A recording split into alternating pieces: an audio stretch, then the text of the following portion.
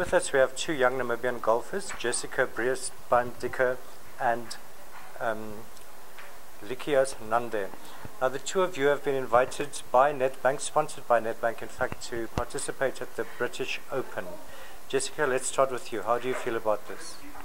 I was very excited when I found out. It's an amazing opportunity to play overseas, and I've never been to Europe or anywhere that far away from Namibia, so I was very excited and hopefully that keep Namibia's name high and show them exactly what we're made of, that we are on par with what they're doing. So. Great. Jessica, you're still only 15, but you're really making a name for yourself here in Namibia. Tell us, what have you achieved so far this year? Um, we participated at the South African Girls Championships in Orkney, South Africa, about two weeks ago. Um, the South Africans are very competitive, and they had, we had very strong competition. And I finished 39th out of many players. I think it was about 65 or so. Um, we also went to Australia to play in the Asia Pacific World Schools Golf Challenge, where I ended fourth overall of the girls division. Um, I also won the Swakop Open recently, and very recently won the Central Open, which is my second year winning it this this year. So hopefully I can make it three in a row next year, but I'll work hard to get there. Right, and at the British Open, how do you think you'll do there?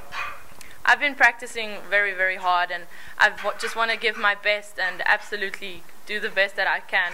There's um, we play for two days, and the top 80 play a third day, so I'm definitely hoping to make the top 80 to show them that Namibia is just as good as any other country and that Namibia is also there, not just South Africa.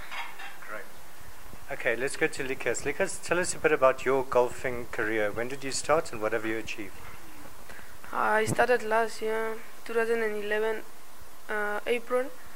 Uh, I started playing from 18 handicap and later became 19 and came up to 17 it just came down until 8 uh, I started playing golf uh, since 2000, uh, 2007 but stopped playing it for almost two years.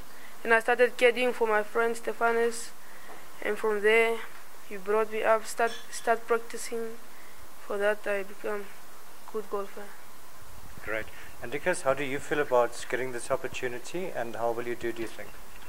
I'm, feel, I'm feeling very happy and yeah, I'll try I'll make sure that play the best that I ever can and keep Namibia's name there up.